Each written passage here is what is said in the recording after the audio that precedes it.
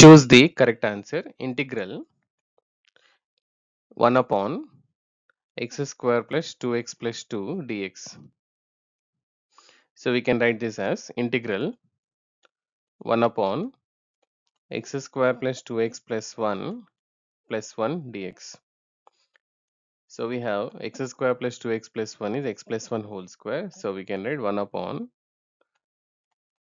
x plus 1 whole square plus 1 dx.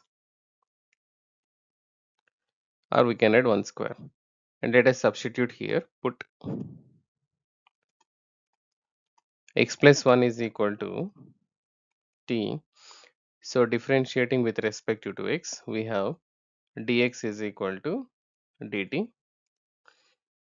So our integral can be written as 1 upon t square plus 1 square dx is dt.